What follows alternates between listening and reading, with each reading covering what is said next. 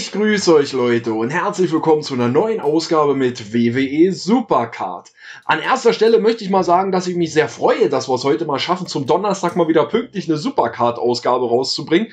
War das Jahr jetzt äh, arbeitsmäßig bei mir geschuldet, dass das nicht so geklappt hat, aber heute ist es zum Glück mal wieder soweit und es gibt natürlich einiges zu erzählen. Ähm, das erste, das schönste, sagt man ja immer als erstes, wir werden heute ganze zwei TBG-Packs noch gemeinsam öffnen. Und wir werden gemeinsam mal auf die aktuell laufende Road to Glory schauen. Ich würde sagen, wir gehen hier mal ganz kurz durch. Ähm, klar, ich kann über einen Tag nicht weiter spielen und äh, habe trotzdem ein paar Pünktchen schon gemacht, freue ich mich drüber. Äh, bei mir ist das nun mal alles immer erst abends. Aber naja, ist egal. Gehen wir mal durch. Wir haben hier Bestie, Finn Baylor, auch hier so ein äh, Valentinstagsbild aus dem Jahre 2018. Ich denke mal für viele vielleicht interessant für einen Kartenkatalog. Dann haben wir hier den guten Alexander, dann haben wir Eric Young, Ember Moon, allgemein so eine kleine NXT-RTG. Und dann haben wir auf Gothic, auf Gothic sage ich schon, auf Goliath, Sami Zayn, haben Tommaso Ciampa auf SummerSlam 18, haben Seth Rollins auf Gothic, haben Alistair Black auf Neon, ähm, eine aktuelle Valentinstagskarte aus dem Jahre 2019. Ähm, ich weiß, viele von meinen Zuschauern, die haben mir ja geschrieben gehabt, dass sie Alistair Black aus den Fusionen gezogen haben. Euch Leute ganz speziell ein riesiges GZ und einen herzlichen Glückwunsch. Und ich hoffe, dass ihr es schafft, natürlich euch Alistair Black zu ergattern. Ist auf jeden Fall eine coole Karte. Karte und es sei euch von Herzen gegönnt. Dann haben wir hier auf Zerstört haben wir Johnny Gargano und haben hier als Eventkarte Velveteen Dream mit einem richtig geilen Bild. Also das muss ich einfach mal so sagen. Ich finde es gut mit Johnny Gargano. Es ist zu verstehen, wenn es so NXT-lastig ist und er als North American Champion alles, es ergibt alles Sinn. Aber da halt letzte Woche schon in der LMS war, naja, da sieht man ihn halt schon wieder. Ist wie es ist, wollen wir uns nicht drüber aufregen, aber ich weiß auch, dass es für viele ein Pro ist und euch natürlich auch herzlichsten Glückwunsch. Ja, dann haben ähm, viele mir geschrieben gehabt, ich will mir ehrlich gesagt gar keine Meinung darüber bilden, dass ähm, seit dem Update, was jetzt so war, dass das mit der Werbung jetzt ein bisschen verbuggt sein soll. Ähm, ich kann nur sagen, deshalb habe ich meine Matches hier vorhin schnell gemacht gehabt. Ich habe es auf dem Handy probiert gehabt und konnte zweimal Werbung gucken. Manche haben mir allerdings auch gesagt, ähm, die konnten halt zehnmal Werbung gucken und dann war zick und äh, manche konnten es gar nicht. Manche iPhone-Besitzer haben überhaupt keine Probleme. Auf BlueStacks stürzt das Spiel, äh, stürzt das Spiel ab. Ich habe enorm viele Sachen gelesen. Ich, wie gesagt, weiß jetzt noch gar nichts. Ich habe es jetzt noch nicht selber geprüft. Ich konnte, wie gesagt, zweimal Werbung auf dem Handy gucken. Auf BlueStacks habe ich noch gar nicht probiert. Aber ich muss ähm, ja auch ganz ehrlich zugeben, dass es, wenn, selbst wenn das mit der Werbung nicht funktionieren würde, wäre es für mich persönlich nicht so mega schlimm, weil ich wirklich immer so dieser Stunden, zwei Stunden Rhythmusspieler bin, der dann halt immer seine fünf beziehungsweise sechs Matches dann halt macht und dann das Handy oder Tablet wieder zur Seite legt und dann halt in ein paar Stunden wieder reinguckt. Ähm, das ist so mein Spielprozedere, deshalb, ähm, das ist jetzt nicht so gemeint, dass mir das scheißegal ist mit der Werbung. Ich habe ja spätestens zur Grinding-Ausgabe, will ich mit euch ja auch eine Stunde hier sitzen und daddeln. Ist natürlich kacke, wenn das dann nicht funktioniert. Müssen wir einfach mal abwarten. Ich bin dann natürlich auch auf das Feedback ein bisschen von euch angewiesen, aber wir haben da etliche heute schon geschrieben und da ihr Leid kundgetan. Und es ist natürlich eine, eine beschissene Sache, wenn das nicht funktioniert. Ne? Also mit der Werbung und so. Aber wie gesagt, mich persönlich trifft es jetzt nicht so, aber ich weiß, dass es viele von euch ähm, dann doch schon trifft. Oder ihr müsst dann halt auch so spielen wie ich und so ein Intervallspieler werden. So alle ein, zwei Stunden immer mal spielen. Und dann sage ich ganz ehrlich, da zieht sich so eine RTG dann halt auch bis Sonntagabend, bis man da die Eventkarte schafft. Oder was weiß ich, die zerstört.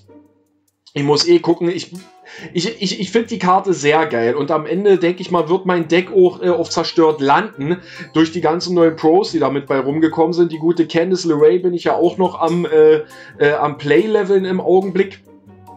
Eh, ich habe hier noch äh, ähm, den guten Trend 7, wo ich immer Tyler Bay zu sagen will. Ich weiß nicht, was mit mir los ist. Dann äh, hier Jeff Hardy, dann der eine, der ist schon fertig, der braucht noch ein bisschen. Und dann hier unten natürlich noch die ähm, Candice LeRae. Ja, ähm, da ist ein bisschen was passiert und ähm, ich hatte letztens meine besten Karten drinne gehabt und war dann Neon Plus Plus hier hinten ungefähr gewesen. Deshalb gehe ich mal ganz stark davon aus, dass mit den neuen Pros dann auch eine hier ein zerstört Deck in der RTG für mich bereitstellen. Das ist ziemlich cool und ich bin auch schon sehr gespannt, bis wohl ich 10er beziehungsweise dann 6er Matches machen kann. Vielleicht wissen wir zur Grinding-Ausgabe schon mehr, obwohl das glaube ich nicht, da, weil morgen, ich kann über den Tag da nicht so viel spielen, aber ich denke mal zum Montag spätestens kann ich euch da die genaueren Infos geben. Fusionstechnisch, ja, äh, will ich vielleicht noch mal ganz kurz ansprechen. Ne? Wir hatten das ja in der letzten Ausgabe gehabt, wo ich da auf einmal eine zweite Fusion starten konnte und nicht 250 Credits noch mal einsetzen musste. Da haben wir doch die 1850. Dann würde ich sagen, starten wir die nächste Gothic-Fusion. Warum sagt er mir jetzt nicht hier wegen 250 Credits? Warum konnte ich jetzt das ohne 250 Credits starten, obwohl ich eine Neon-Fusion aktiv habe? Die Lösung haben mir viele von euch geschrieben und ich muss ehrlich sagen, ich wusste das wirklich nicht, weil hätte ich das nämlich erst schon gewusst, ähm, zu SummerSlam 8 zu Fusionszeiten, hätte ich das nämlich auch schon gemacht. Für diejenigen unter euch, die es nicht wissen, ähm, ihr wisst es, wenn ihr eine zweite Fusion starten möchtet, müsst ihr 250 Credits bezahlen. Das Ding ist jetzt folgendes. Ich habe nämlich hier diese Zerstört-Fusion, war meine zweite Fusion und die habe ich für 250 Credits halt gestartet. Morgen, in einem Tag, ist meine Gothic-Fusion fertig. Das war die kostenlose Fusion gewesen. Ich kann darum morgen sofort meine Neon-Fusion starten und muss dafür keine 250 Credits einsetzen, obwohl es eine zweite Fusion ist, die läuft. Weil ich halt die Fusion, diese Zerstört-Fusion, für 250 Credits gestartet habe und die in dem Zeitraum halt ist, wo die endet und die dann halt anfangen würde. Ich finde das sehr krass. Ich wusste es nicht. Man lernt nie aus bei Supercard und es ist ehrlich gesagt ein schöner Zufall, dass äh, mir das passiert ist bei der letzten Ausgabe und einige von euch wussten das ja auch. Und ich sage ganz ehrlich, hätte ich das eher gewusst, hätte ich das bei Fusion schon öfters so gemacht. Halt immer die Fusion, die am längsten dauert. Also das ist jetzt so mein Tipp für Leute unter euch, die das jetzt genauso machen wollen. Die Fusion, die am längsten dauert, als zweite Fusion mit 250 Credits starten und dann die andere Fusion, die ja in der Zeit enden wird, wo ihr die in der also innerhalb wo ihr die zweite Fusion gestartet habt. Und dann könnt ihr nämlich direkt die nächste starten.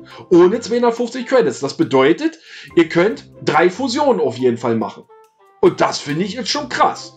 Also, ist jetzt wirklich nicht äh, zu verachten. Und deshalb werde ich das definitiv so weiterhin beibehalten. So, da haben wir das jetzt beredet gehabt, war mir auch irgendwie noch ein bisschen wichtig gewesen. So, was war noch so wichtig? Sonst eigentlich nichts wichtig. Ähm, das einzigste, wir können ja zwei TVG-Packs heute öffnen. Ich habe ehrlich gesagt so ein ganz kleines bisschen die Hoffnung, dass eine Zerstört-Karte heute drin ist. Bis jetzt habe ich ja eine einzige Zerstört-Karte bis jetzt im TVG-Pack drin gehabt.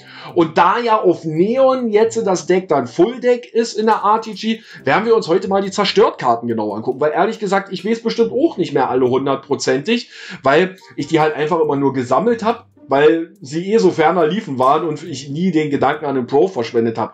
Ist eigentlich heute auch nicht so, aber wenn ein Pro bei rumkommt, will ich natürlich auch wissen, was los ist. Wir gehen mal ganz kurz durch. Wir haben den guten Stone Cold, haben Kofi Kingston, Seamus, Hansen, dann, okay, hier Fusion, Fusion. Dann haben wir Daniel Bryan, Shinsuke Nakamura, Ricochet, Drew McIntyre, EC3, Adam Cole, Andrade, Rusev, Sonja Deville, gut, wird eh nicht bei rumkommen, Samoa Joe und Harper. Harper war nämlich unser Freebie gewesen.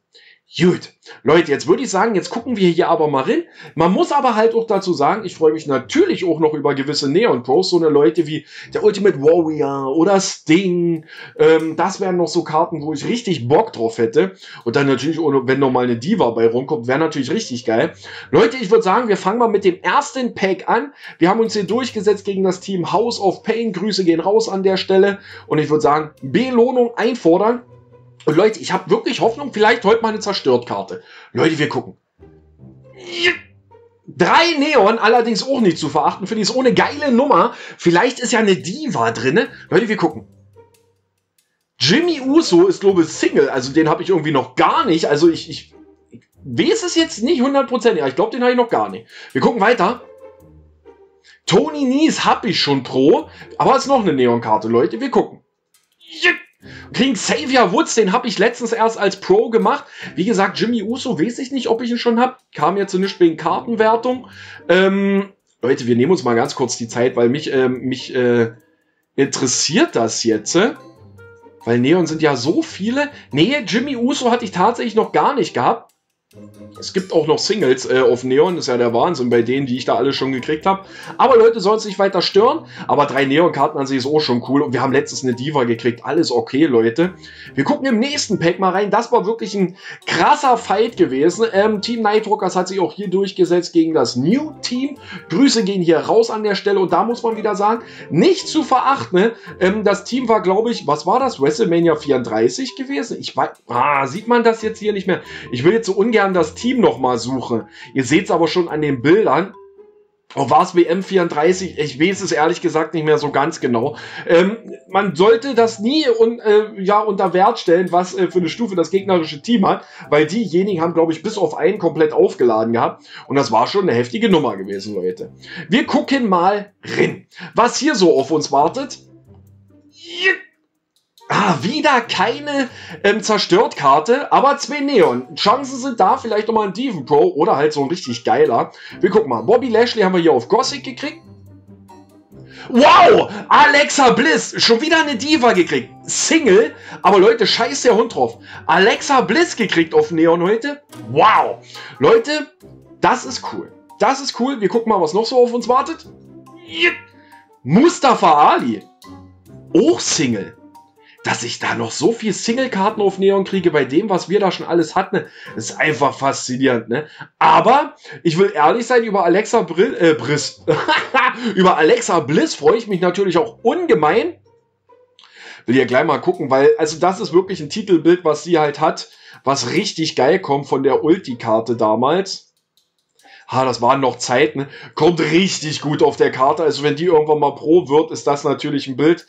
Ja, ja, ist natürlich richtig geil und vor allem auch eine Single-Karte ist für mich durchaus interessant, weil sie auch so bei mir in das Women's Royal Rumble oder Elimination Chamber Deck wandert. Also von daher alles gut. Auch als Single Alexa Bliss für mich nicht zu verachten. Coole Karte. Grüße gehen raus an Marcinho an dieser Stelle. Und ja, das soll es gewesen sein. Ich bin gerade am überlegen, die Road to Glory habe ich drüber geredet und dass ich halt mal gucken will, was da jetzt so alles so dann passiert. Den War-Modus haben wir gut, das ist jetzt nicht so interessant. Ich bin halt am Play-Level, damit ich für die RTG dann halt mein Full-Deck halt hinkriege. Gut, eh eine Neon Pro Diva fehlt dann, aber Leute, das ist mir ehrlich gesagt egal. Das Deck hat sich so gut verbessert in letzter Zeit. Irgendwie haben mir die Leute auch gesagt, Money in the Bank soll sich die Animation geändert haben weiß ich jetzt ehrlich gesagt auch noch nicht so richtig, wie das aussieht. Ja, und bei Fusion habe gegenwärtig habe ich eine Laufe und ich hatte das Problem gehabt, dass ich immer die Linksherzen nicht gezogen habe. Aber heute, wirklich nur heute, ähm, war es so gewesen, dass ich da wirklich ein paar gezogen habe. Also wirklich, ich hatte eins. Und jetzt habe ich nochmal fünf gezogen. Das bedeutet, ich kann auf jeden Fall noch eine Fusion machen, weil ich jetzt ziehe nämlich immer bloß die anderen. Also die hier. Deshalb sehr faszinierend, dass ausgerechnet heute, als dieses Pack nicht mehr drin war, hier mit diese Links- und Rechtsteile für 500 Credits, also weiß nicht, was die gerocht haben. Also das, also wer, also, nee, ich hoffe, es hat sich keiner von euch geholt, aber ich schätze euch mal nicht so ein, Leute. Ja, gut. Haben wir alles besprochen? Freue mich, dass das Donnerstag mit der Ausgabe mal geklappt hat. Wir sehen uns Supercard-technisch am Samstag zur Grinding-Ausgabe wieder. Bin sehr gespannt, wo ich dann in der RTG so sein werde. Ich denke mal nicht viel weiter als jetzt, weil ich spiele halt nur noch heute Abend und morgen keine Zeit. Es ist halt leider, wie es ist. Gut, Leute, soll es gewesen sein. Ich bedanke mich vielmals, dass ihr eingeschaltet habt und würde einfach mal sagen, keep on wrestling und wir sehen uns in der nächsten Ausgabe. Macht's gut, Leute. Ciao.